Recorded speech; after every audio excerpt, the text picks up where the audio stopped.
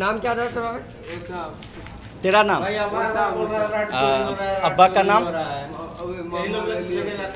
बच्चे करता है अब्बा? अब्बा मेरा कहाँ पे? पूर्णिया में। पूर्णिया में नींबू बेचता है। और हाँ, यहाँ है। बिहार के कटिहार में भीड़ तंत्र का दिखा खौफनाक असला। चोरी के आरोप पर किशोर को अर्ध नग्न कर भीड़ ने जमकर पीटा हाथ पर बांधकर घंटों तक होती रही पिटाई।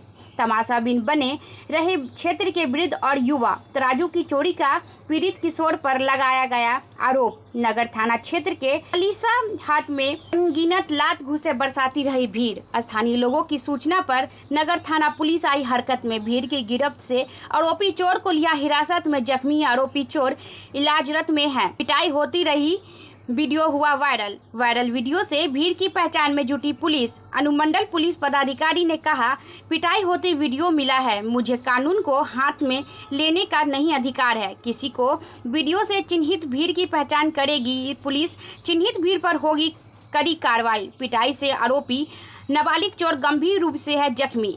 कटिहार से संवाददाता रतन कुमार की रिपोर्ट। रंजीत राम। हाँ, क्या चोरा है आपका? पैसा। कितना पैसा? पाँच हज़ार रुपये। हाँ, क्या चीज़ का दुकान है आपका? फल का। फल का। तो इससे पहले भी चोरी किया है हाँ आपके पास? साइकिल साइकिल सब चोरी करता है। अच्छा। आपके यहाँ भी चोरी हुआ? हाँ। पहले भी पकड़ा है बोलो ना बे पहले भी पकड़ा तीन है तीन साइकिल दो मोबाइल मेरा चोरी हुआ। अच्छा। ठीक ना? ये लगा तीसरा मेरा मोबाइल। ये मोबाइल भी चोरी किया था? हाँ। पंडित जी का वो म- जसकलाम मंदिर है उसका भी साइकिल चुराया। हाँ?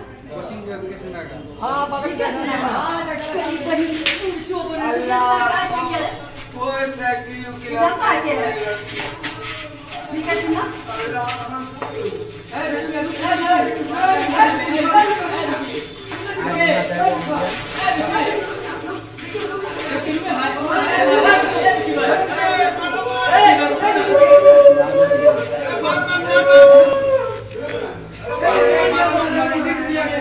भाई ज़मीन तरफ़ कर भाई अरे भैया